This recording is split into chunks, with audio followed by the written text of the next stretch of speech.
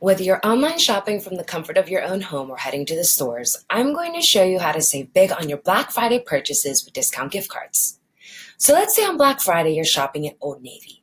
Although this may not be their Black Friday promotion, I see they're currently offering 40% off online purchases.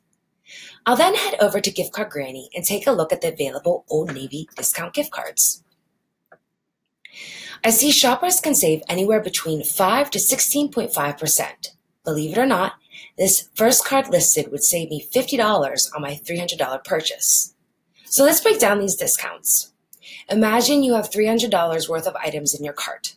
Combine the 40% off promotion with an Old Navy discount gift card and you're looking at savings of $170. Hello matching sweaters for the entire family.